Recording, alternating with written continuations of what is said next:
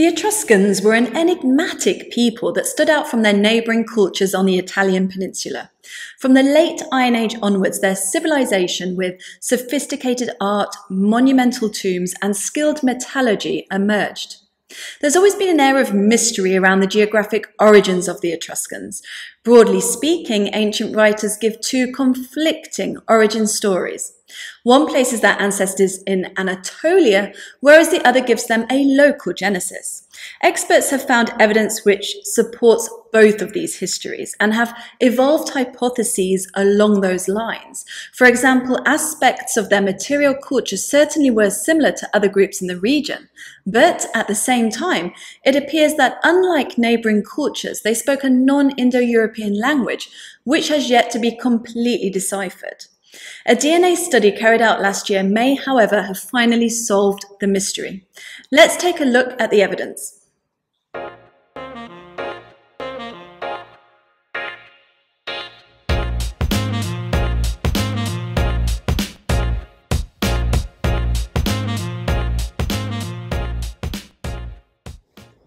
The Etruscan culture was centered on an area called Etruria, which covered much of modern-day Tuscany, large parts of Lazio and Umbria, and smaller sections of the Po Valley, Emilia-Romagna, Lombardy, Veneto, and Campania.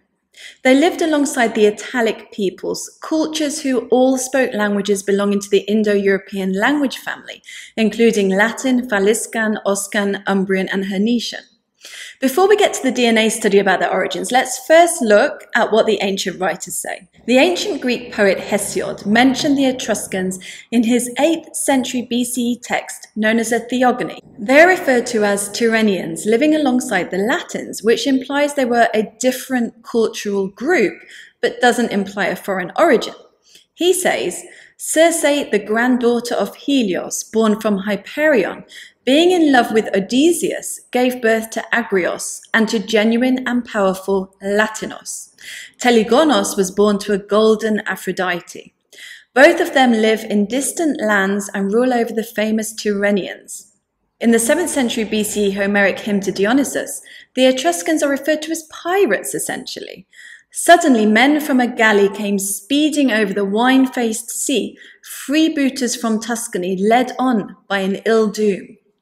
In his 5th century BCE book, Histories, Herodotus wrote about a terrible famine that had caused suffering to the Lydians in Anatolia. But the famine did not cease to trouble them, and instead afflicted them even more. At last, their king divided the people into two groups and made them draw lots so that the one group should remain and the other leave the country.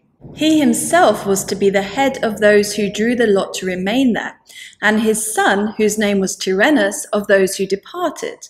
Then the one group, having drawn the lot, left the country and came down to Smyrna and built ships, in which they loaded all their goods that could be transported aboard ship and sailed away to seek a livelihood and a country until at last, after sojourning with one people after another, they came to the Ombrici, where they founded cities and have lived ever since. They no longer called themselves Lydians, but Tyrrhenians, after the name of the king's son who had led them there. So Herodotus gives them an Anatolian origin because the Tyrrhenians became known as the Etruscans. Thucydides, also writing in the 5th century BCE, agreed with the Lydian origin for the Etruscans but said that they came via the island of Lemnos in the Aegean. This is interesting because the only written language found, which is some sort of affinity to the mostly undeciphered Etruscan inscriptions, comes from a stele on Lemnos, and texts of the Raetic language in the Eastern Alps. So the mention of Lemnos could be quite convincing, except for the fact the Lydians spoke a well-attested Indo-European language, and the Etruscans did not. Hellanicus of Lesbos wrote, also in the 5th century BCE, that the Etruscans were descended from the Pelasgians, a name given by writers from the classical period to the ancient population of the Aegean, who, it seems, little is known about. Legend has it that they were also the builders of the Cyclopean walls, as you might know from some of my previous videos. In the first century BCE, the geographer, philosopher, and historian Strabo wrote an account of the Etruscans in his famous book, Geography. The Tyrrheni have now received from the Romans the surname of Etrusci and Tusci. The Greeks thus named them from Tyrrhenus, the son of Atys, as they say, who sent hither a colony from Lydia. Atys, who was one of the descendants of Hercules and Omphale, and had two sons, in a time of famine and scarcity determined by lot that Lydus should remain in the country, but that Tyrrhenus, with the greater part of the people, should depart. Arriving here, he named the country after himself, Tyrrhenia, and founded twelve cities, having appointed as their governor Tarchon, from whom the city of Tarquinia received its name, and who, on account of the sagacity which he had displayed from childhood, was fain to have been born with hoary hair. Placed originally under one authority, they became flourishing, but it seems that in after times, their confederation being broken up and each city separated, they yielded to the violence of the neighboring tribes. Otherwise, they would never have abandoned a fertile country for a life of piracy on the sea, roving from one ocean to another. So Strabo gave them an Anatolian origin and made them pirates as well. Also writing in the first century BCE, the Greek historian Dionysius of Halicarnassus discussed the various origin stories for the Etruscans, and weighing up the merits of each, was of the opinion that a great deal of confusion had been caused by writers mixing together the Pelasgians and the Tyrrhenians. He was quite sure that the Pelasgians were indeed foreign, but that the Tyrrhenians were native. So what does the DNA say? Last year, a paper published in the journal Science Advances detailed the DNA analysis of 82 individuals excavated on the Italian peninsula.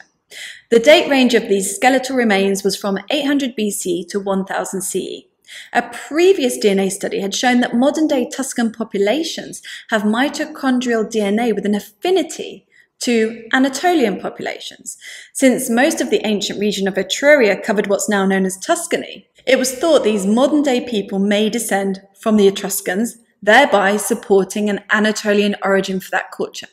However, further studies found there was no genetic continuity between ancient Etruria and modern day Tuscany. The recent study analysed 70 individuals from 12 archaeological sites in Tuscany and Lazio, corresponding with areas covered by ancient Etruria, as well as 16 individuals from the medieval site known as the Thermae of Venosa in Basilicata. This study found that from 800 to 1 BCE, the majority of the Etruscan individuals analysed had a genetic profile which was similar to other contemporary cultures in the region, such as the Italic peoples. There was no evidence for a genetic ancestry in Anatolia. This genetic profile also confirms steppe related ancestry. This is in line with the well-known migrations into Europe that took place from the steppe during the late Neolithic and early Bronze Age, the migrations that are thought to have brought the Indo-European language family to the region. Later periods show a changing gene pool as the Roman Empire expanded eastwards and human mobility became more frequent. The study showed an influx of populations from the Eastern Mediterranean and the Near East, probably due to the Romans extending citizenship to an ever increasing number of foreign cultures, as well as the movement of slaves and soldiers.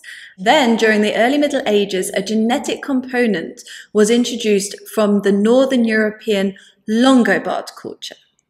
Population continuity was also identified from the Middle Ages right up until today.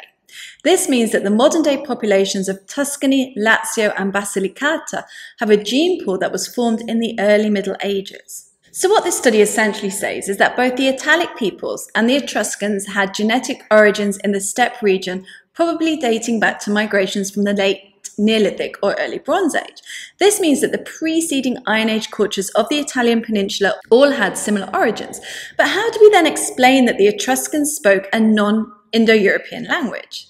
The paper suggests that Etruscan was a relict language predating Bronze Age migrations, which survived in spite of genetic discontinuity. This would make it a rare example of this.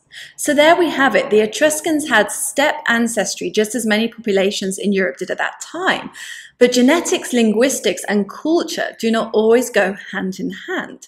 The Etruscans' determination to maintain an ancient language and other aspects of their daily life that they were famous for, such as their ability to interpret omens, show that genetic assimilation doesn't necessarily mean acculturation. And I'm still very interested in understanding where that relict language, as it's referred to, really came from and what else that can tell us about them. I hope you enjoyed this video. Please hit the like button, click on that notification bell so you know when I publish a new episode, and I'll see you next time.